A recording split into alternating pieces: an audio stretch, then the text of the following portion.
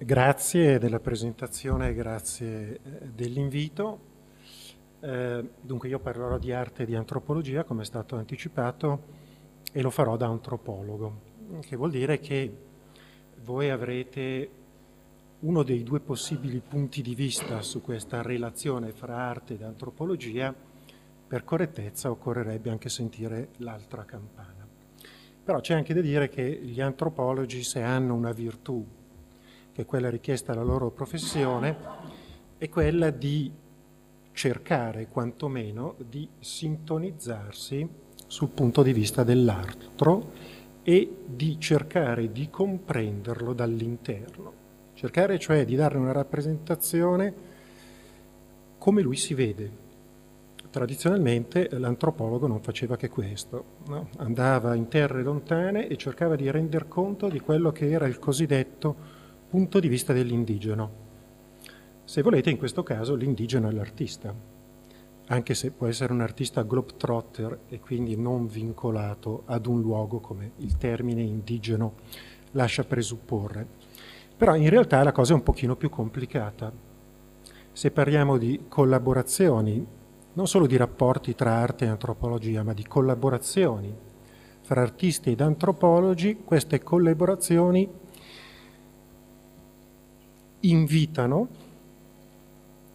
hanno anche come condizione la presenza di un terzo, che è quello che appare nel titolo, e cioè una comunità, o quantomeno dei gruppi di persone. Quindi la relazione diventa una relazione molto più complessa perché non ce la giochiamo in due. Se artisti ed antropologi si trovano e si cercano, è proprio perché vogliono, desiderano lavorare insieme con un terzo, che è appunto un gruppo o una comunità. Allora io oggi affronterò questo eh, argomento che è comunque, come si diceva, strettamente attinente anche al tema della mostra ospitata dalla Strozzina, con un riferimento a quella che è la mia esperienza personale, quindi quelli che sono stati i miei lavori di collaborazione con artisti nell'ultimo decennio. E eh, lo farò eh, selezionando quei lavori che ci portano lontano sostanzialmente, che cioè ci portano in Africa ed in particolare in Camerun, dove io svolgo le mie ricerche sulle culture visuali dell'Ovest del Camerun da circa 12-13 anni. Quindi questo vuol dire che è solo un elemento tra altri, perché alcune di queste collaborazioni con artisti, cui non parlerò ma che cito come Maria Papadimitrio, Adrian Paci, eh, Emilio Fantin, eh, Steve Piccolo e altri, sono avvenuti in realtà in Italia. Um, questa riflessione che cercherò di proporvi oggi è fatta di un viaggio sostanzialmente, eh, questo è un po' come dire nella tradizione dell'antropologo, no? l'antropologo si differenzia dal filosofo perché non resta nella biblioteca, anche se fa uso di libri, si differenzia dal sociologo prima maniera perché non resta tra di noi, ma va altrove. La conoscenza di sapere antropologico è un sapere che si costruisce nel viaggio, e il viaggio è fatto di un'andata e di un ritorno. Quindi una partenza che ci conduce in Camerun ed un ritorno che, come vedremo, eh, ci riporterà in Italia e alla mostra di cui si accennava prima, e cioè questa mostra che si è tenuta a Genova nel 2011 a Palazzo Ducale e Castello d'Albertis, che si intitolava L'Africa delle Meraviglie. Ora, dentro questo percorso io vi proporrò allora tre collaborazioni con tre artisti molto diversi fra di loro che sono appunto un collettivo di artisti, quello di alterazioni video, um, un artista che è quella citata prima, Paola Anziché, con cui ho realizzato questo video in Camerun nel quadro delle iniziative di Expo, ed infine un terzo eh, artista che è Stefano Arienti, che con me e la, e la, collega Giovanna Parodi da Passano ha curato la mostra genovese. Quindi artisti molto diversi che lavorano in contesti altrettanto eh, diversi. Allora, la prima questione che possiamo porci è perché un antropologo ha bisogno di un artista. Um, in realtà io sono non genericamente un antropologo, sono un antropologo che si occupa d'arte, sono un antropologo dell'arte. E però l'antropologia eh, nasce come eh, studio, l'antropologia dell'arte, come studio dell'arte degli altri, cioè quelle forme artistiche che non nascevano e non circolavano e non erano consumate sotto il nome di arte, perché non avevano alle spalle un museo, un'accademia, una galleria, un mercato dell'arte. Quelle che sono state a torto ovviamente chiamate fino a qualche decennio fa arti primitive. Beh, eh, tutto questo sostanzialmente non esiste più, perché abbiamo scoperto che i primitivi non erano così primitivi, ci sono squagliati fra le dita, e perché poi la realtà del postcolonialismo, quando poi i cosiddetti primitivi hanno preso parola e hanno cercato bene o male di imporsi sulla scena internazionale, anche se poi è arrivato il neocolonialismo, il termine primitivo ovviamente non funzionava più perché è un termine che dall'esterno si applica a qualcun altro che non si designa come tale. L'antropologia è diventata, sotto la spinta di questi grandi eventi storici, non più studio dei primitivi, ma antropologia del contemporaneo. E questo vuol dire che di fatto non esiste neanche più quella distinzione tra il qui e l'altrove. Gli antropologi, e in particolare gli antropologi che si occupano arte, si occupano sostanzialmente di tutto ciò che accade sotto questo cielo, che può essere quelle che sono le arti tradizionali o le arti che stanno fuori dal mondo dell'arte, ma anche l'arte in, in, senso stretto, cioè quella che sta dentro il mondo e il sistema dell'arte. E quindi se l'antropologia si occupa della contemporaneità, inevitabilmente si occupa anche di arte contemporanea. Allora, del Camerun ovviamente non potrò parlare, richiederebbe troppo tempo. Me la cavo con un paio di immagini che vi danno almeno un po' il sentore, quindi che consentono di creare uno, uno sfondo e un minimo di eh, atmosfera. Eh, questo è stato l'oggetto principale della mia ricerca, questo grande palazzo, una sorta di santuario che ha avuto delle vicende molto complicate e che come vedete è punto di ritrovo della comunità di questo villaggio, 30.000 abitanti, un piccolo regno, che si trova sugli altopiani del Camerun e che ha circa 30.000 abitanti. Ora basta vedere un po' l'abbigliamento e vedete quanto sia diversificato quindi c'è un abbigliamento che dall'esterno riconosciamo come tradizionale e un altro giacca e cravatta che appartiene alla modernità. E quindi questo mondo, per quanto lontano, non è così diverso? Lo è in parte, ma non fino in fondo, così come potremmo immaginare o anche desiderare.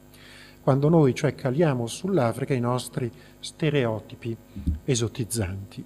È un mondo complesso, è un mondo variegato, è un mondo misto, dove la modernità vuol dire innanzitutto decenni e decenni di colonialismo, dove cioè la modernità è arrivata con la violenza della dominazione. Allora, due diapositive che mostrano proprio in maniera, credo, molto eloquente questa complessità e contraddittorietà. Questi mondi che non sono paralleli ma che si intrecciano. Questa è la figura del re di Banjul, lo vedete davanti a questo grande santuario, questa grande capanna, con gli abiti tradizionali, gli attendenti, gli oggetti sacri, fa molto Africa. Allora, questo è sempre il re di Banjul in un'altra parte della sua giornata. Allora, non è che soffra di schizofrenia, anche lui, come tutti noi del resto, si muove fra più mondi. Non abbiamo più un unico mondo. No? Vicende recenti anche del terrorismo internazionale ci obbligano a renderci conto che dire, i mondi sono sempre più confluenti e queste confluenze fra mondi generano conflitti, scontri, oltre che possibili intese, oltre che possibili rapporti fecondi. E lo stesso vale qui. Lui si muove tra diversi mondi. È il re tradizionale, è l'imprenditore nell'industria del caffè, delle piantagioni e poi è anche uomo politico che magari partecipa all'Assemblea nazionale. È uomo di mondo, che sta dentro quella situazione locale, ma contemporaneamente dentro una realtà globale. Ora, dentro questo contesto alquanto complesso che io conoscevo abbastanza bene, che ho invitato a partecipare a alterazioni video, le ho portati con me. Alterazioni video, non so se li conoscete, sono abbastanza noti, questa forse è la loro operazione, il loro progetto più noto, l'incompiuto eh, siciliano, eh, che sostanzialmente è stato un gesto taumaturgico, un po' alla Duchamp, se volete. Non si trattava di fare di un urinatoio una fontana, si trattava sostanzialmente di sdoganare, reinterpretare, riportare alla luce una serie di abusi edilizi nella città di Giarre, eh, fatti per ottenere finanziamenti europei per opere molto fantasiose eh, che non sono mai arrivate in fondo. Eh, tra cui la famosa piscina olimpionica a cui manca un metro, quindi non hai 50 metri ma ne ha 49. E qui vediamo alterazioni video che organizza una seduta di acqua gym in una piscina che è vuota, ma che in realtà non è un non luogo perché è localmente utilizzata poi come campo di pallacanestro, perché anche questi spazi indeterminati, privi di funzione, vengono poi ricolonizzati. Quello più eclatante è il famoso stadio di polo no, con tribune per, non ricordo male, 10.000 posti. Notoriamente il polo è lo sport nazionale della regione siciliana. Allora, eh, però noi ritorniamo in Camerun, è qui che li ho portati. Allora, per me l'intento qual era? Avere uno sguardo eh, nuovo su cose note, forse mi annoiavo un po', volevo un po' rilanciare, perché quando si arriva tutto in nuovo, e tutto desta curiosità, poi entra il meccanismo dell'abitudine, si ripercorrono sempre gli stessi passi e quindi diventa difficile procedere. All'inizio è complicato perché non si conosce niente, poi è complicato perché si costruiscono le proprie routine e sembra che non ci sia più niente da conoscere. E quindi questo è un po' il motivo. Perché portare un artista e perché portare proprio questi artisti? Allora, c'è tutta una retorica che circonda l'arte che noi dire, riceviamo dal romanticismo. L'artista porta uno sguardo di freschezza, la capacità di scompaginare le carte, la capacità di portare nuova luce sulle cose mostrando aspetti inediti, poco visibili ad altri. L'artista è un anticipatore. Beh, in qualche modo tutto questo mi ha nutrito, anch'io dentro questa cornice. E però c'è anche qualcosa di più. Se parliamo di rapporti tra arte e antropologia, stiamo troppo sulle generali. Certi antropologi e certi artisti. È vero che ciascuno di noi viene dai propri mondi e questi mondi creano dei contesti che ci vincolano fortemente. Se io vado a ricerca, fare ricerche è perché poi devo rispondere all'università, quindi devo produrre. Se un artista va da qualche parte, poi presumibilmente deve realizzare una mostra. E quindi c'è anche un meccanismo di finanziamenti dentro i quali siamo stretti. E quindi gli incontri tra antropologi ed artisti, per quanto ben intenzionati, non sono mai frutto di un accordo libero tra persone. Non è semplicemente un rapporto di amicizia, è un rapporto professionale. E le professioni restano diverse. Quindi laddove è possibile incontrarsi, Beh, eh, dentro questo terreno, nel mondo dell'arte, c'è il fatto che io sia qui, ne è un po' la dimostrazione, c'è una forte domanda di antropologia oggi. Perché? Perché eh, la formazione classica, tradizionale della storia dell'arte non basta più davanti a questo mondo, occorrono altri strumenti interpretativi. Perché? Perché questo è il mondo in cui, dopo la caduta dei muri in particolare, e quindi il bipolarismo che semplificava un po' tra est e ovest, siamo caduti in una situazione di multipolarismo e di grande frammentazione, dove è venuto in primo piano l'elemento della differenza della diversità culturale. E l'antropologo è proprio forse quello più titolato di altri a parlare di, di scultura, la nostra disciplina si chiama antropologia culturale e la cultura di cui parliamo è la cultura in senso antropologico, e cioè una creazione e costruzione collettiva che si fa sostanzialmente vivendo. Sono gli usi e i costumi, sono le abitudini, non è la cultura dei dotti. E quindi è dentro questo terreno che cresce la possibilità e la desiderabilità di costruire un ponte tra arte ed antropologia, anche con eccessi, perché come accade per tutto, anche questo poi finisce con l'essere una moda e talvolta io ho l'impressione di essere trattato nel mondo dell'arte come una pianta ornamentale, e cioè nel programma del convegno al tavolo ci vuole l'antropologo, no, perché comunque completa il quadro. Allora, questi artisti sono artisti che lavorano nel sociale, sono artisti che non lavorano in galleria, sono artisti che fanno un'arte di tipo relazionale e l'antropologo fa proprio questo. Qui troviamo un punto di intesa. L'antropologo costruisce relazioni. Il sapere si costruisce montando le relazioni, sviluppando le relazioni. Alla base della cosiddetta etnografia sta l'osservazione partecipante, e cioè io capisco qualcosa di qualcuno sì osservando, ma osservare da solo non basta. Quello che conta è il connubio tra osservazione e partecipazione. Non osservare dall'esterno, ma osservare facendo. Osservare cercando di immedesimarsi, di fare come fanno gli altri, di apprendere a vivere come vivono gli altri, in una certa misura e fin dove è possibile. Allora, eh, tutto questo però vuol dire anche esporsi dei rischi. Eh, la loro arte va sotto, eh, potremmo rubricarla dentro il cosiddetto attivismo artistico. Anche loro si occupano di cultura, ma nelle forme del sabotaggio culturale. E quindi hanno un'azione che è un'azione spesso dirompente, eh, con effetti volutamente trasgressivi e scandalistici. Allora, per me che faccio l'antropologo e che devo costruire relazioni, portare qualcuno che mi piazza delle bombe a mano, qua e là, e che mi fa saltare anni di lavoro in tre settimane, ovviamente può essere un problema. Quindi io mi sono assunto volutamente dei rischi, ma il motivo di interesse per me stava anche nel fatto che portando degli artisti potevo consentirmi tramite loro una libertà d'azione che non avevo in quanto antropologo. Perché, come dire, la gente, le persone con cui hai a che fare, rispondono alle tue domande cercando a loro volta di sintonizzarsi, di immaginare chi sei, cosa vuoi, eccetera.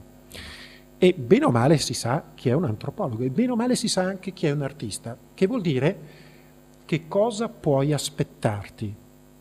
Quindi ciascuno si comporta sostanzialmente anche cercando di negoziare la visione che gli altri hanno di te, tendenzialmente si comporta come gli altri si aspettano.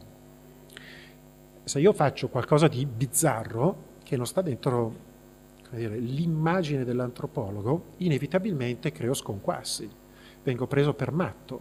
Ora l'artista può permettersi cose che io non posso permettersi perché anche laddove l'arte contemporanea non è poi così diffusa, tutti bene o male sanno che cos'è o credono di saperlo e sanno comunque che l'artista è un tipo bizzarro e che quello che fa spesso è qualcosa di enigmatico, di difficilmente indecifrabile.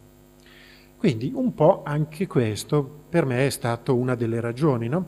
un po' come fanno i bambini più grandi che mandano avanti dagli adulti i fratellini più piccoli no? perché appunto eh, possono permettersi delle cose, no? anche il ridicolo, che loro non possono consentirsi più.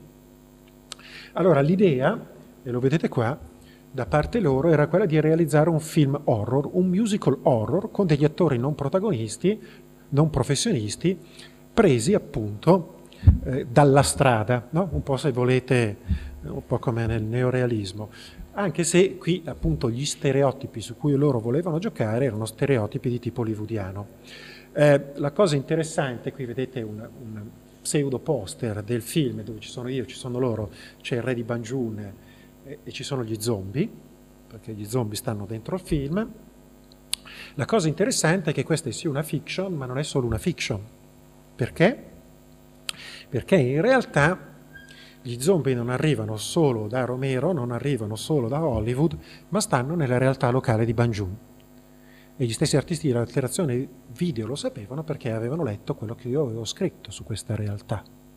dove cioè c'è un elemento forte, molto presente di stregoneria.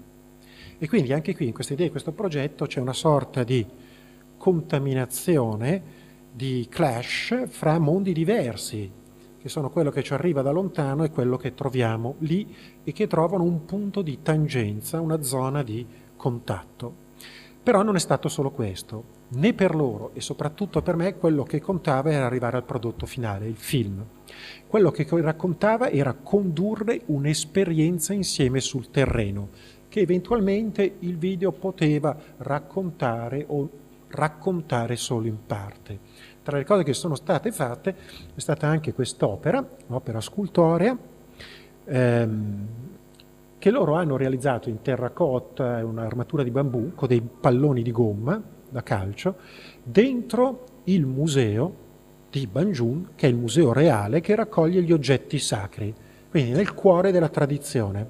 Allora la cosa interessante è che per loro costituiva una sorta anche qui di sberleffo, quindi entrare con qualcosa di dissacrante dentro il tempio della tradizione, ma farlo secondo le tattiche loro consuete del mimetismo, perché si prendono i materiali locali, le tecniche locali, anche le forme piramidali dell'architettura locale e poi ci si buttano dentro i palloni da calcio, no, che è l'elemento dirompente, che è la bomba a mano, che colloca questo intervento altrove.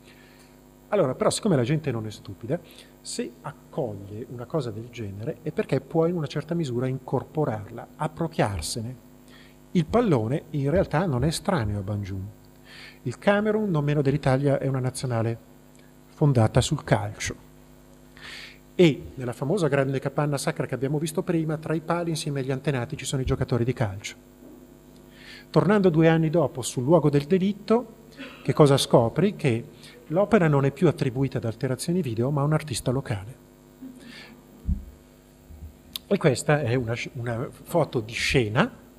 La cosa interessante per me qual era? utilizzare il set e il backstage come uno strumento per costruire campo, cioè creare una situazione da studiare. Il fare un film seleziona le persone, chi risponde agli appelli radiofonici della realtà locale sono dei giovani, tra cui si è diffusa la voce infondata che era arrivata alla RAI. E quindi l'idea era ancora una volta di trovare un trampolino di lancio per arrivare in Occidente e possibilmente diventare delle star. Um, badate bene che i talent e i contest televisivi che vediamo nella nostra TV si fanno anche in Camerun. E quindi anche da questo punto di vista le distanze sono meno profonde di quel che pensiamo. Il bello di questo lavoro è stato proprio questo, di lavorare sui media, quindi di lavorare sul processo di costruzione filmico e quindi di vedere che cosa della realtà locale di quel paese si poteva portare dentro il film. Allora vi faccio vedere, devo interrompere la presentazione, quello che era il trailer di eh, questo film. Vi dà un po' l'idea dello spirito della cosa.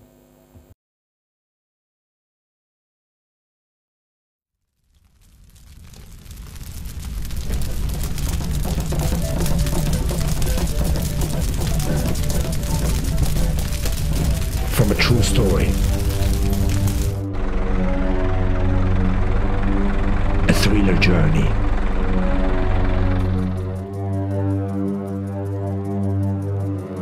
Shocking documentary. A horror musical.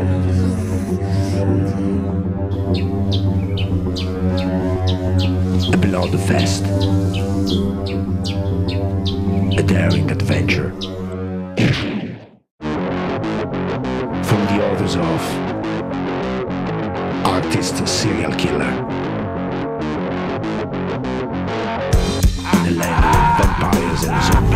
Survival.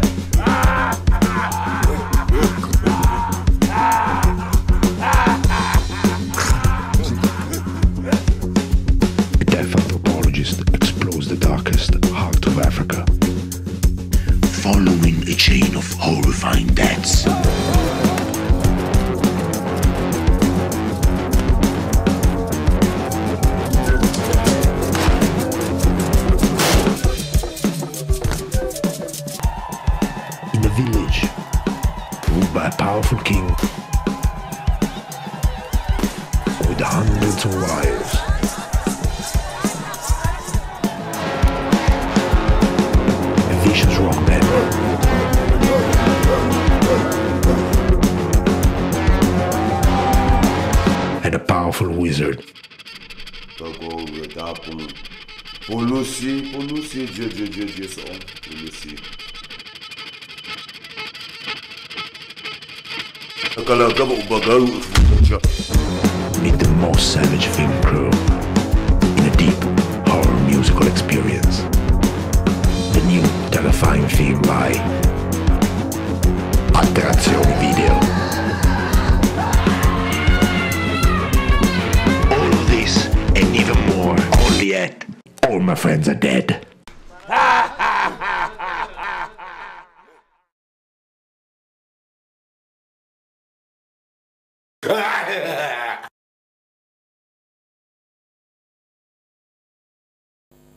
Allora, non so qual è eh, l'impressione che ne avete avuto voi. Beh, ehm, ritmo travolgente, uno dei problemi, secondo me, almeno dal punto di vista di antropologo, in una cosa come questa, a cui ho collaborato, anche se la mia collaborazione non è stata pienamente riconosciuta perché fa parte della loro poetica il furto, ehm, una delle questioni eh, è capire che cosa c'è di realtà e che cosa c'è di finzione in tutto quello che vediamo, perché realtà e finzione sono montate insieme senza soluzione di continuità e non è agevole, se qualcuno si pone il problema, ovviamente, capire che cosa c'è di documentaristico e che cosa c'è di fiction. Allora, è chiaro che l'obiettivo dell'antropologo è cercare di capire qualcosa di più della realtà. Non è fare fiction. L'antropologo non è un romanziere. È però anche vero anche nella tradizione del documentario, del documentario etnografico, la rappresentazione della realtà richiede una certa dose di finzione. Eh, rea- non è possibile riversare la realtà nella sua realtà in una pellicola o appunto in un video digitale. Bisogna passare dentro il media, bisogna quindi selezionare e rimontare il lavoro di montaggio, la realtà. Anche il documentario richiede finzione, una messa in scena. E d'altra parte tante fiction possono farci capire molto delle realtà più di tanti documentari. E quindi da questo punto di vista la distinzione tra la dimensione artistica e quella etnografica antropologica non è così netta e così chiara, è da negoziare. Ma forse il punto di discrimine sta nel fatto che l'antropologo fa ricorso alla finzione per capire qualcosa di più della realtà. Talvolta, questo è anche il percorso degli artisti, in altre occasioni avviene il contrario, e cioè che si prende e si saccheggia dalla realtà per creare delle fiction che magari, come dire, eh, esprimono quello che è il mondo interiore dell'artista, ma di fatto stravolgono quello delle persone che compaiono nell'opera.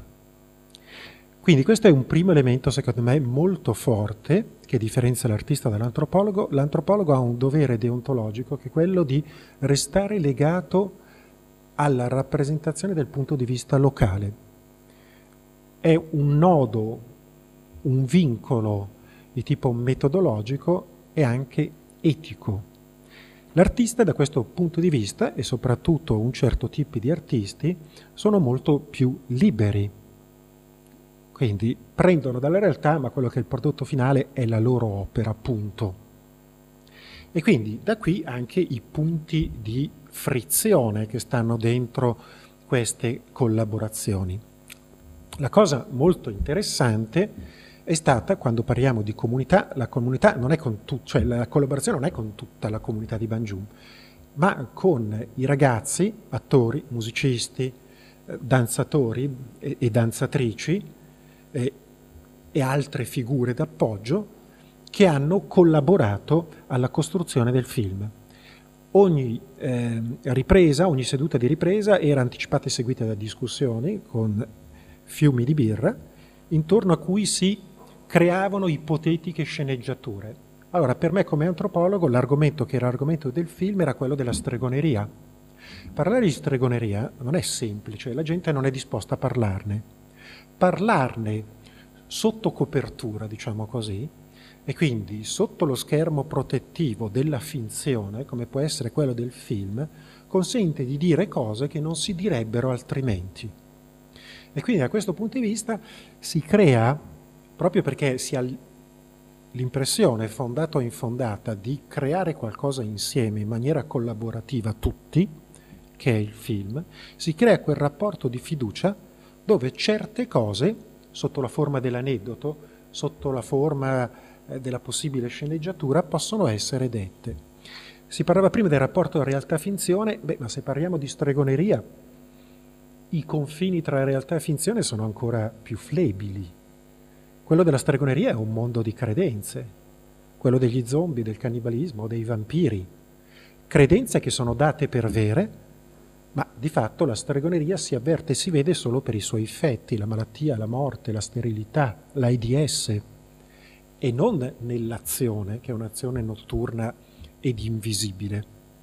E poi anche perché l'immaginario della stregoneria si costruisce al cinema anche in Africa, non solo con i film di Hollywood, ma anche con i film di Nollywood, cioè la cinematografia nigeriana diffusa in Africa e nella diaspora africana, dove appunto l'elemento della stregoneria è molto presente e forte.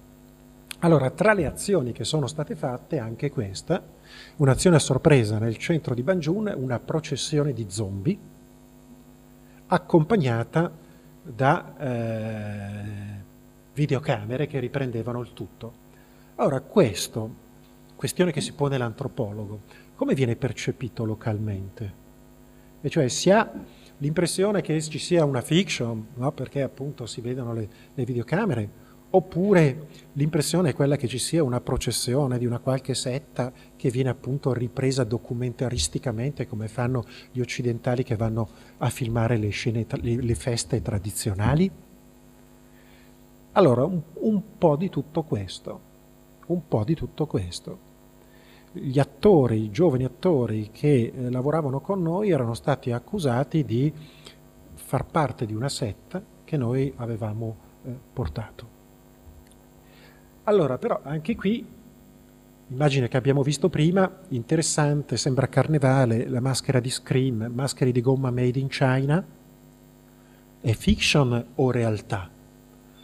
Allora, è realtà, una realtà che si costruisce attraverso l'incorporazione di elementi finzionali.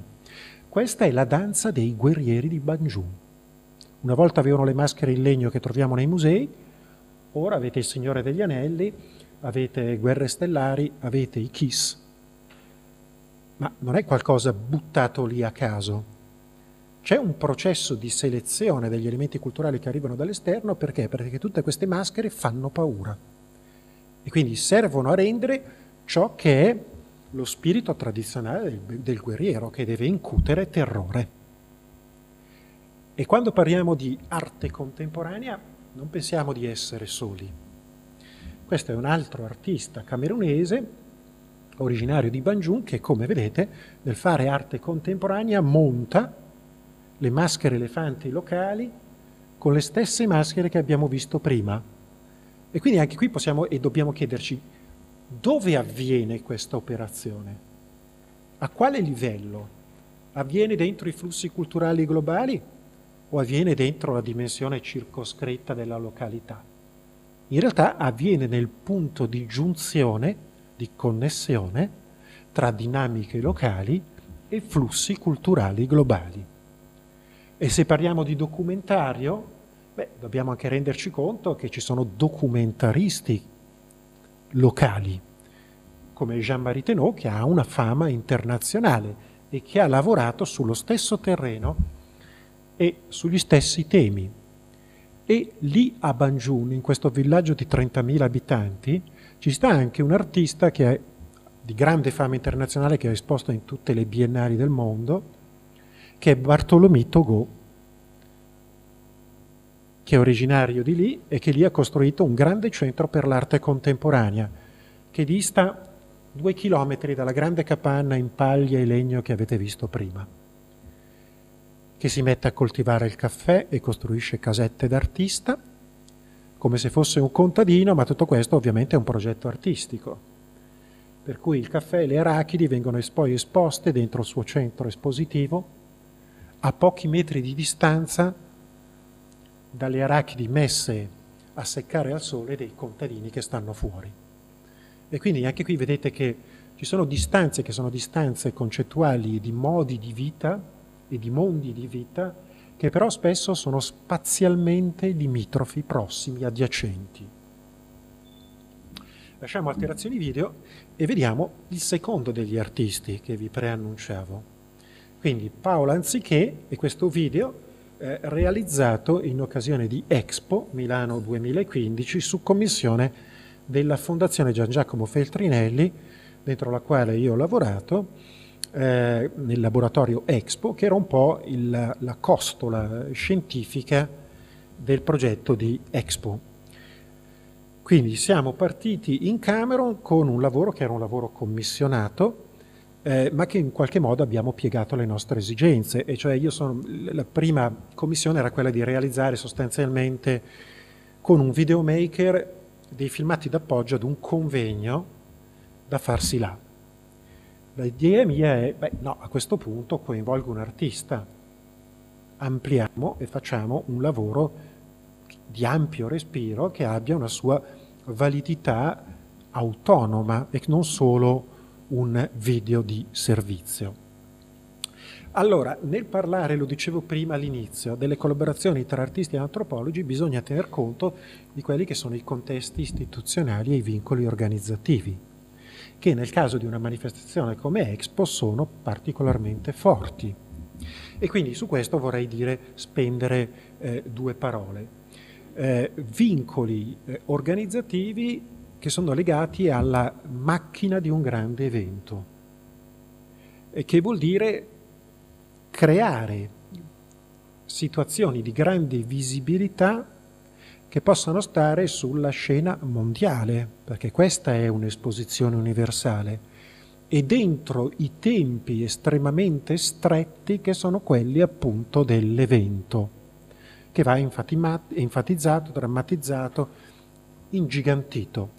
Allora, tutto questo vuol dire, artista antropologo, lavorare ad un lavoro che vuole essere anche qui un lavoro che crea un'opera d'arte e un documento antropologico che non sono scissi, ma che stanno dentro lo stesso prodotto che è il video, ma che possono essere spesi, giocati nei due mondi, recepiti in un festival del cinema etnografico o dentro una mostra d'arte, e però nel contempo produrre qualcosa che possa, de, possa stare dentro Expo. E quindi che possa essere in qualche modo sezionato in clip, che possa viaggiare su più piattaforme, che quindi sia anche comprensibile ed accessibile ad un largo, ampio pubblico. Allora, tenere tutto questo insieme ovviamente non è cosa facile.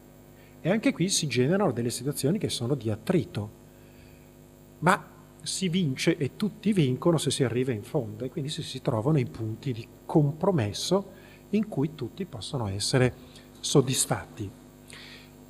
E questo credo che in una certa misura sia, eh, questo risultato sia stato raggiunto.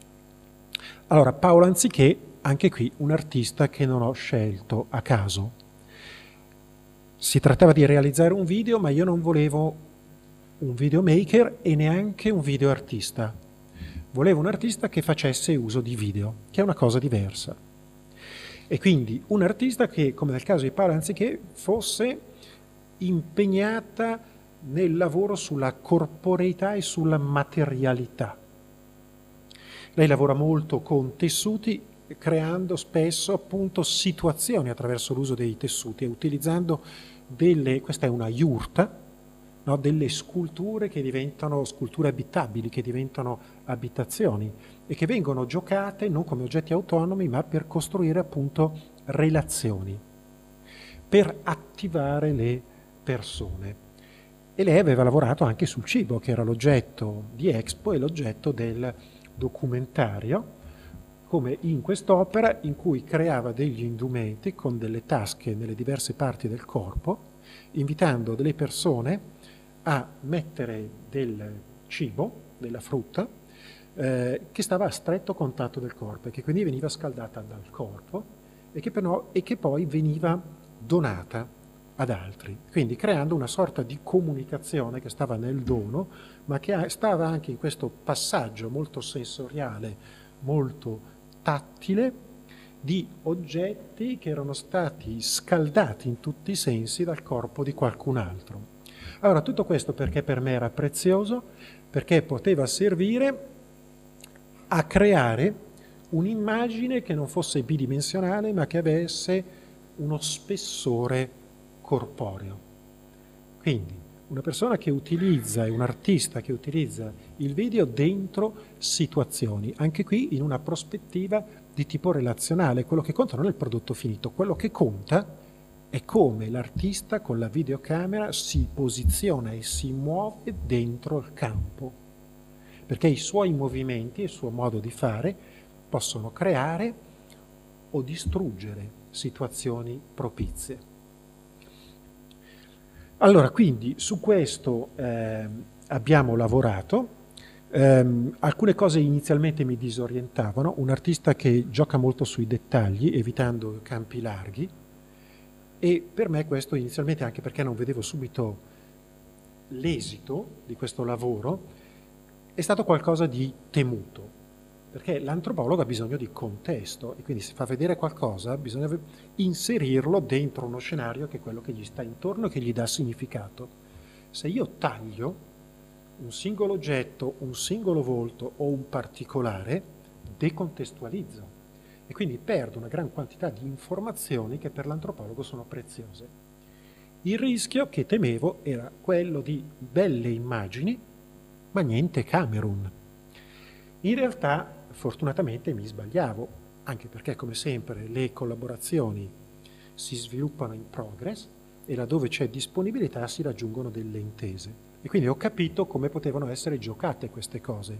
E la cosa funziona se l'artista si avvale dell'antropologo per fare un'opera d'arte migliore e l'antropologo riesce ad avvalersi dell'artista per fare un'antropologia migliore.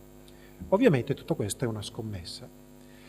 Quello che alla fine per me ha funzionato in questo giocare sui dettagli, che non sono comunque esclusivi, ci sono anche ambienti, è stato questo frenare, ostacolare quella che è un po' la nostra visi- volontà di verità, come diceva Nietzsche, che è poi volontà di potenza, che è quella di tutto vedere e tutto avere e quindi di avere il camero in un film. Troppo comodo. L'insistere sul dettaglio, il tagliare, il riprendere le persone di schiena, frena questa volontà, crea un elemento di disagio, crea una situazione di difficoltà, l'impossibilità di comprendere tutto e ci rende maggiormente consapevoli del fatto che quello che è il significato non è qualcosa di dato, che basta filmare per riportare da qualche parte, ma è qualcosa che occorre costruire, costruire nelle relazioni sul campo e costruire dentro il film. E quindi qualcosa che si dà sempre parzialmente.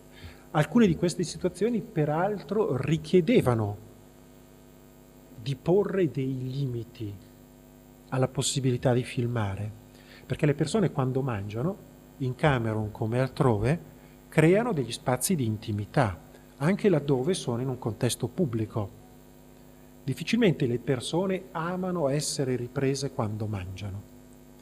E quindi questo vale anche qui, in molte situazioni in cui soprattutto si teme l'uso che si farà dell'immagine, perché le immagini poi viaggiano come non mai oggi, vengono messi su internet, e in Africa da questo punto di vista c'è un certo timore dell'uso che si può fare delle immagini, soprattutto laddove servono a rinforzare quelli che sono gli stereotipi miserabilisti dell'Africa. Quando noi in un ambiente urbano andiamo a filmare dei degli impiegati o dei quadri che fanno la pausa pranzo in un ambiente che peraltro è molto molto modesto, quello che noi definiremmo una baracca, costoro hanno paura di vedersi sminuiti nel loro status sociale e di essere messi sulla famosa gogna mediatica, come amano dire i nostri politici quando ricevono un avviso di garanzia.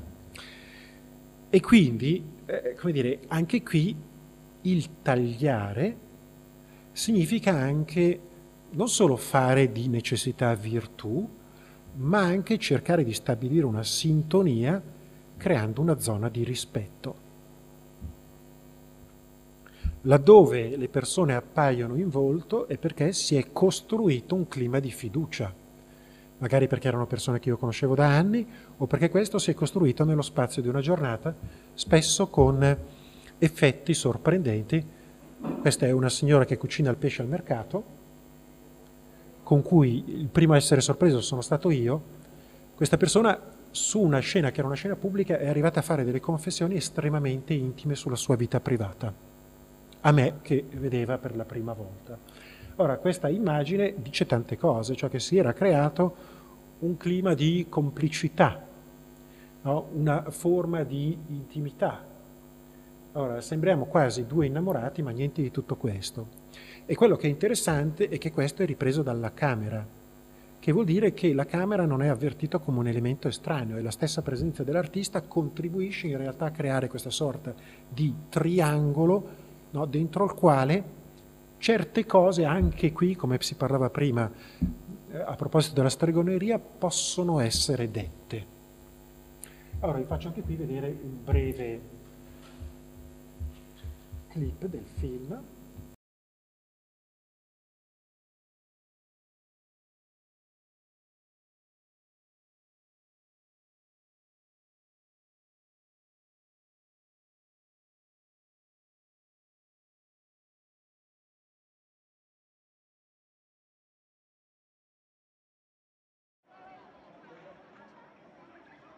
Tutti gli anni, nella città di Chang, gli abitanti originari di Banjun, un'altra località bamileke, promuovono la giornata della ragazza Banjun, o Tojong, una giornata culturale nel corso della quale le ragazze dell'Università di Chang sono accolte nelle diverse famiglie Banjun e sotto la guida esperta di una maman apprendono a cucinare secondo la tradizione. In queste forme di socialità, tanto spontanea quanto organizzata, il nuovo grande museo delle culture di Chang è in prima fila. Il suo compito non è solo raccogliere la tradizione fra le proprie mura, ma alimentare la realtà che sta al di fuori.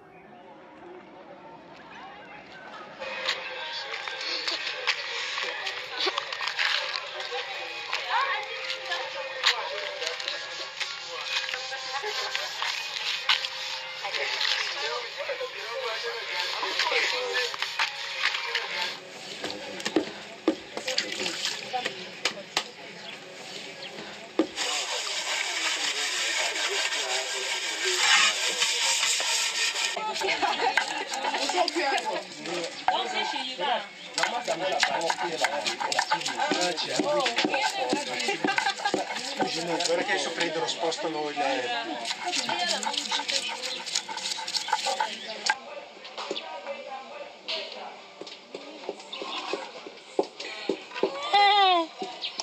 Ecco, vedi, Capo è bravo, come si Mais l'autre là, vous allez encore le tourner.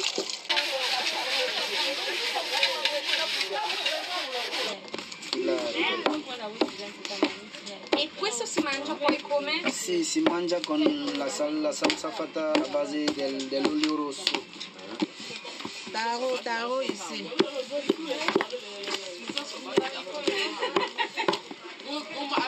Les sauts noirs dehors là. So, so you guys, regarde, tu vois, un gosse.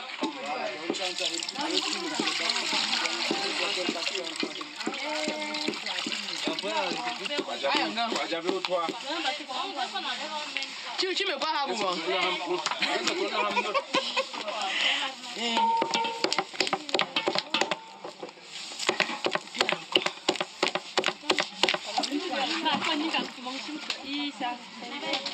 On met dans le fond.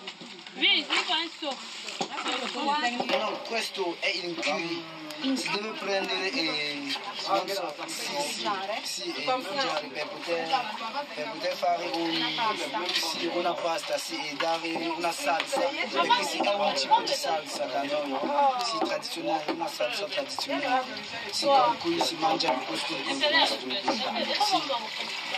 non sì, l'acqua, non con l'acqua fredda, non si, non,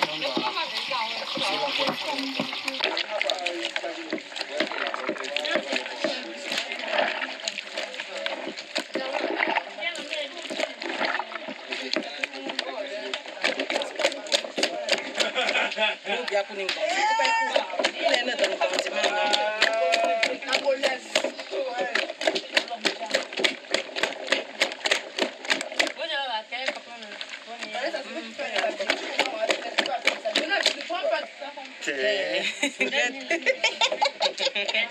A pou tè, non? Fou pou tè, sa ti. Nan, gat pien. Fou pou tè. C'est déjà bon, quand ça fait le pompé, tout va bien.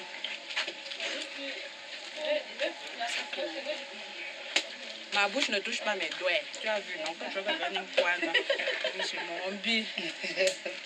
Nisichike la la la la la la mano inatoka la boca si. Ça ne touche pas. Bouteille. Il n'y a pas le piment. Attends,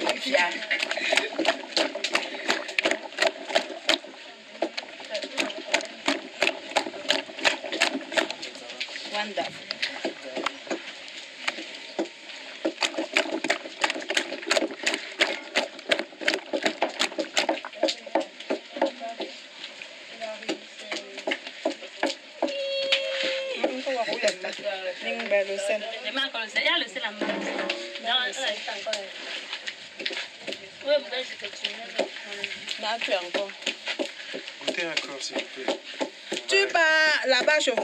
Ma photo. Hein? Tu pars avec Et on, et on Ma photo. avec. loin en Italie. Yo. En Italie et ici aussi. Ah bon? Oh, mon. Il y a ma soeur là-bas qui fréquente à l'université.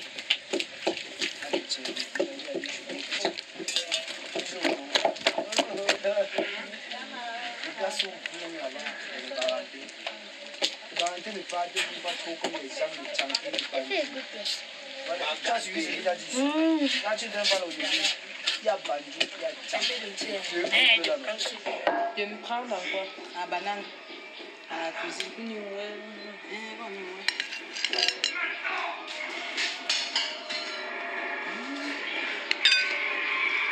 Eh, il n'aime pas la fourchette, goûte à, goûte à pétaille, c'est ça.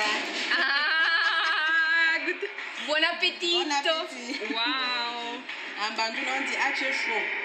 Aceshwo. Ache chaud. Yes. Ache chaud. Apo, apo. On répond apo.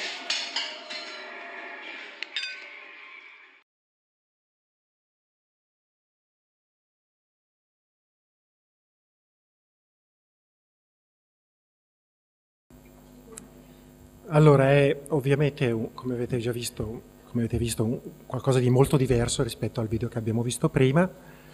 Eh, l'elemento documentaristico è sicuramente più presente, ehm, però anche qui il documentario è un genere artistico. No, se uno va in una biennale trova sempre più lavori d'artista che sono lavori di tipo documentaristico e che si fatica a distinguere da quello che potrebbe essere ehm, il lavoro di un antropologo. E quindi anche qui non è una questione, come dire, di stile neanche solo una questione di intenzioni, eh, è una questione di luoghi di ricezione, cioè laddove il, dove questo lavoro girerà, come verrà presentato, dentro gli spazi dell'antropologia o dentro gli spazi dell'arte, dentro gli uni o dentro gli altri. Sicuramente c'è la mano molto visibile dell'artista. E io amo dire che la camera di Paolo Anziché si muove nella situazione come un naso più che come un occhio. E in questo video, come dire, ci sono tante cose, un elemento molto forte è quello appunto sensoriale, soprattutto nella preparazione di questa salsa gialla, che si chiama ancui, che è fatta con una scorza d'albero.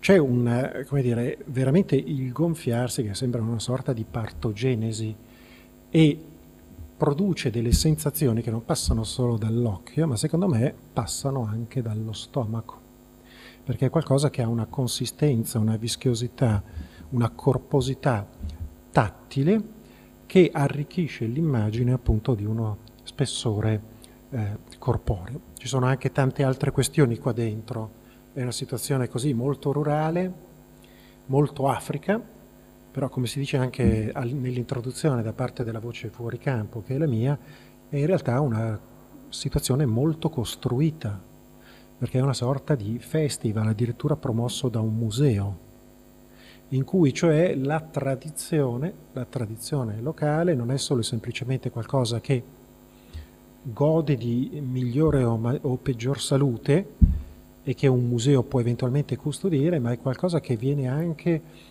rinforzato, se non addirittura ricreato, non dentro il museo ma fuori, dal museo stesso dentro un processo che è quello appunto di patrimonializzazione della cultura. Quindi anche sul terreno la cultura diventa patrimonio, cioè in qualche misura nasce e viene vissuta in una disposizione che alla fine conduce, no, la predispone quantomeno, ad essere condotta dentro quelli che sono i luoghi in cui la cultura diventa spettacolo o viene comunque mostrata che sia il museo, che sia la galleria, che sia un qualunque spazio di tipo espositivo. Allora, veniamo all'ultima tappa, l'ultimo è degli artisti con cui ho collaborato, almeno di quelli di cui parlo oggi, che è appunto Stefano Rienti. La mostra era questa, l'Africa delle eh, meraviglie, eh, un titolo un po' convenzionale, volutamente abbiamo giocato sugli stereotipi, anche perché per fare una mostra occorre attrarre il pubblico e quindi non si può andare molto per il sottile, occorre qualcosa che abbia una visibilità mediatica. E però anche in questo caso abbiamo giocato sullo stereotipo per farne l'incipit, il punto d'innesto di un percorso esperienziale dentro la mostra che suscitasse delle riflessioni in grado di portare il visitatore a divenire consapevole delle proprie aspettative concernenti l'Africa, che sono per lo più fortemente stereotipate, soprattutto perché appunto all'Africa chiediamo ancora oggi, come se fossimo ai tempi di Conrad o di Livingston, di meravigliarci. No? Se parliamo di Africa parliamo del continente nero che è il continente dei misteri, il cuore di tenebra. E ancora oggi di questo è quello che cerchiamo e che domandiamo all'Africa, ma che è molto distante dalla realtà degli africani e anche dalla realtà delle arti africane. Stefano Arienti, perché ho scelto di collaborare con lui? Perché è un artista eh, che ha lavorato su arti extraeuropee, in particolare arti asiatiche, perché è un artista che lavora sui libri e come vedremo eh, il riferimento al libro è molto importante, in particolare al catalogo dentro questa mostra, perché è un artista non solo molto colto, ma anche molto attento e disponibile ad ascoltare, cosa che non è di tanti artisti. Quindi un artista che per fare questa mostra che abbiamo lavorato due anni si è messo a studiare, a leggere tutto quello che si poteva trovare sull'arte africana e quello che abbiamo condotto insieme non è stata solo la realizzazione di una mostra, è stato un lavoro etnografico, dove cioè la mostra non diventa semplicemente il luogo in cui si espongono le opere, ma diventa il pretesto intorno a cui si costruisce un percorso che sta dentro e fuori la mostra per capire qualcosa di più della realtà. E la realtà di cui parliamo qui qual è? Non è solo quella delle arti africane, ma è quella, se avete notato il banner, delle arti africane nelle collezioni italiane. Quindi il tema è in realtà doppio. Non parliamo solo dell'arte africana, parliamo anche del collezionismo italiano, non parliamo solo dell'Africa ma dell'Italia. Questo è il binomio, questa è la relazione su cui abbiamo lavorato. Per cui se gli oggetti vanno in mostra, queste due grandi sedi espositive, Castello d'Albertis è sede del Museo delle Culture di Genova, Palazzo Ducale, a queste grandi eh, sale che erano poi i magazzini, i depositi delle derrate alimentari del palazzo all'epoca. Abbiamo lavorato non solo sugli oggetti e quindi non abbiamo semplicemente portato in mostra con l'allestimento, anche qui pensato, ma dentro un team curatoriale, per cui non c'è divisione del lavoro. Ognuno mette insieme le proprie competenze e si fa brainstorming un allestimento comunque ideato da Stefano Arienti sulla base di esigenze che avevano posto gli antropologi. Anche qui superare l'occhio. Perché superare l'occhio? Perché l'arte africana ha delle forti componenti tattili che già Picasso aveva valorizzato, ma che sono le componenti tattili che sono la base del collezionismo. Il collezionista d'arte africana non si limita a guardare gli oggetti nella vetrinetta, li prende in mano, li manipola, li odora. Anche qui c'è una multisensorialità che va ben al di là dell'occhio, ma come sappiamo in mostra gli oggetti non si possono toccare. Che cosa accade? Che abbiamo ridotto comunque al minimo gli ostacoli, le vetrine. Si creano delle pedane con delle lati sporgenti, obliqui, che ti tengono lontano, quindi ad una distanza tale che se allunghi la mano non, non arrivi all'oggetto, ma che creano una situazione che in tutto e per tutto incoraggia questa accessibilità, incoraggia andarli a cercare, anche se poi se li vai a cercare suona l'allarme. No, però anche qui l'idea è proprio questa, no? come prima nel video con Paolo Anziché, di creare un occhio che non sia disincarnato, ma che sia un occhio che porti con sé il corpo con tutte le sue pulsioni e l'idea era portare non solo gli oggetti in mostra, ma anche i collezionisti e la loro vita. E parlare di collezionismo vuol dire che cosa? Che se dobbiamo meravigliarci, dobbiamo meravigliarci del fatto che gli oggetti stanno qua in Italia e non in Africa. E che il loro contesto, visto che gli antropologi parlano e lavorano sempre sui contesti, non è l'Africa, sono le case degli italiani e quindi antropologicamente render conto di questo. Da dove vengono gli oggetti? Dove andranno quando la mostra chiude? E quindi con Stefano, con la mia collega Giovanna Parodi Pass- da Passano, abbiamo realizzato delle interviste dentro le dimore degli collezionisti per vedere qual è il loro rapporto con gli oggetti, per vedere qual è la dimora abituale degli oggetti che non è l'Africa, quindi nessuna macchina del tempo, nessuna possibilità di fare il salto da Palazzo Ducale all'Africa. Occorre passare per ricostruire per tracce il rapporto che c'è tra quegli oggetti e l'Africa da un percorso, che sono percorsi biografici, che sono i cammini attraverso cui gli oggetti sono arrivati qua. E quindi ancoraggio, no? freno al desiderio di esotismo, come prima le inquadrature che impedivano di ricostruire contesti ampli, freno al desiderio di esotismo, ti inchiodiamo qua in Italia. Perché prima bisogna capire qual è il rapporto tra noi e l'Africa passando dall'Italia. Gli oggetti, non solo le persone viaggiano. Questo che cos'è? È una scala. Burkina Faso serve ad accedere alla terrazza, ha la forma di un albero, è una scala a pioli. Dentro quel contesto d'uso si sa bene che cos'è. Ma se arriva a 1984 la mostra sul primitivismo del MoMA e viene messa a fianco della Cariatide di Brancusi, diventa un'altra cosa ancora. Non è più una scala. Perché non lo è? Perché nessuno ci si arrampica più. Perché diventa un oggetto di contemplazione, privato d'uso diventa un'opera d'arte. Perché crea una nuova relazione, si è creato un incontro che ha attivato un altro livello dell'oggetto una nuova possibilità di esperienza, che è un tradimento, se volete. Ma perché? Perché gli, oggetti hanno una loro biografia come le persone e cambiano a seconda degli incontri che fanno nella vita. E quindi queste scale poi finiscono su AD, finiscono nei salotti parigini, che sono ben diversi dalle case Bur- del Burkina Faso. E poi finiscono, questo era stato portato in mostra, eh, nel calendario di Max con la modella Megan Gale e quindi diventano qualcosa ancora, non una scala, non un'opera d'arte, qualcosa che sta a metà tra l'oggetto di design e il gadget da sexy shop. C'è stato, non necessariamente in maniera eh, illegale eh, e neanche, come dire, eh, con effetti necessariamente nocivi, eh, un processo di spoliazione dell'Africa, no? del proprio patrimonio culturale, anche ben intenzionato, perché in effetti molti dei collezionisti anche a ragione, dicono che se questi oggetti fossero rimasti in Africa probabilmente sarebbero scomparsi. Perché non c'è una cultura della conservazione, perché sarebbero stati bruciati dai missionari delle chiese pentecostali, eccetera.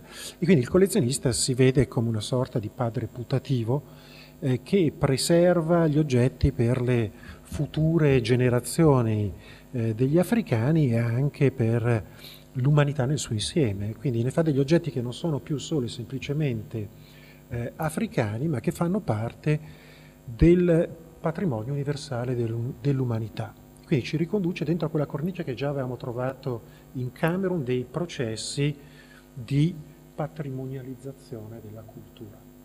Quando dicevo all'inizio, l'incontro tra arte e antropologia muove dal fatto che la cultura sta sempre più al centro, la cultura in senso antropologico, beh c'è anche questo. No, oggi siamo in situazioni in cui appunto si ha fame di diversità culturale, anche perché la cultura è diventata merce. Quindi nel campo dell'arte ovviamente questo vuol dire l'apertura di un grande mercato globale dell'arte, con nuovi artisti e nuovi mercati, eh, vuol dire il rifacimento di tutti i musei etnografici secondo nuovi criteri, per cui i musei etnografici riaprono come musei delle culture, vuol dire anche processi di estetizzazione della cultura, per cui la cultura, in particolare laddove arte, anche se magari condita di retoriche sociali, diventa un oggetto liberamente consumabile perché non impegna, perché, come dire, è sradicato da contesti sociali e concreti che richiedono l'agire. Quindi è un consumo di diversità culturale fatto in piena libertà. Presidente della cultura del Mali qualche anno fa diceva quando è stato aperto il museo del Cré-Branly di Parigi, museo delle culture, che eh, era molto contento del fatto che gli oggetti africani avessero questa grande visibilità e possibilità di movimento, che era esattamente quella che veniva negata agli africani. E a me è capitato di trovare collezionisti d'arte africana con maschere appese in salotto e che avrebbero sparato volentieri sugli immigrati a Lampedusa. Quindi c'è anche questo processo di dissociazione, no? per cui abbiamo due pesi e due misure e il nostro guardare l'Africa va su diversi binari. In mostra entrano, vedete, gli oggetti che eh, costruiscono rapporti di parentela diversi. No? La statuina africana è che lì con le foto dei figli, che vuol dire che è diventato oggetto di affezione, che vuol dire che è diventato parte della famiglia, che vuol dire che il rapporto che si ha con gli oggetti è di quel tipo feticistico e animistico che noi attribuiamo agli africani. E quindi c'è tutto questo che entrava nella mostra. Una delle operazioni di Riente è stata a Castello d'Albertis di disseminare una decina di intrusi, dentro le collezioni del museo, cioè degli oggetti africani messi dentro le vetrine, ad esempio, dell'arte precolombiana eh, mesoamericana, no? che è un modo dire, di scardinare quelle che sono le collezioni, quindi le strutture categoriali molto rigide del museo, che in quel caso è anche casa di, eh, di viaggiatore, questo D'Albertis che appunto aveva eh, raccolto quelle collezioni che aveva costruito questa grande dimora come una sorta di mausoleo celebrativo. E quindi c'è anche lo smontare questa oleografia, questo racconto di tipo autocelebrativo che era stato fatto appunto dal, dal Bertis. Qui siamo a Palazzo Ducale, sono i famosi, tra virgolette, feticci, l'idea di smontare lo stereotipo. Arienti che cosa fa? Prende dei cuscini di piume d'oca e dissemina piume d'oca in mezzo a questi feticci. Qual è il senso di questa cosa? Beh, questi feticci hanno un uso sacrificale, e cioè in genere sono cosparsi di sangue che è quello dei polli, con finalità terapeutiche. Ora, quella non è immediatamente avvertibile guardando la vetrina e lì la vetrina ci sta, non per proteggere i feticci, ma per proteggerci dai feticci. Quello che avverte il visitatore è il fatto che venga messo insieme un oggetto estraneo, il feticcio, ed uno molto vicino, le piume dei cuscini su cui noi poggiamo la testa la sera, su cui ci addormentiamo, un elemento domestico che fa parte della nostra intimità.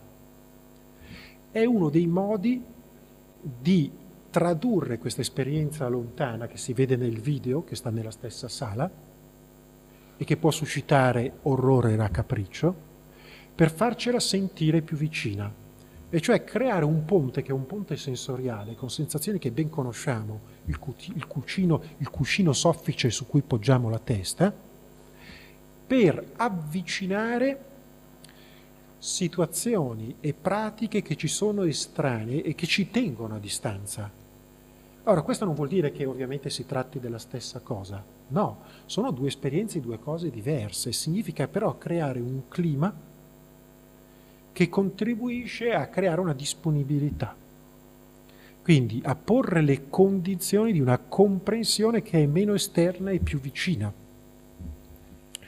Gli oggetti arrivano in mostra e come accade a Lampedusa sono accolti con i guanti bianchi, no, i guanti di gomma che si usano negli ospedali e hanno degli esami che sono gli esami medici richiesti dalle polizze assicurative e sono accompagnati da documentazioni che sono permessi, che sono visti no? esattamente come le persone. Ricordate che prima si faceva questo rapporto tra la biografia degli oggetti e la biografia delle persone.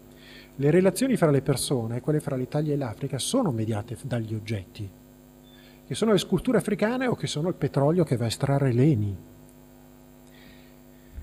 e quindi anche da interessi, che sono interessi di tipo economico. Questa è una tavola, un'installazione creata da Rienti con oggetti, cataloghi, video con le interviste ed oggetti che vengono dalle case del collezionista. Ora uno guarda l'oggetto come se fosse nel Y-Cube sulla, sulla pedana bianca di prima e contemporaneamente se si gira lo ritrova in un altro contesto, che è quello domestico da cui viene. Anche qui c'è un ponte. No? Lo puoi vedere liberamente, però lo vedi con qualcos'altro che ti sta a fianco.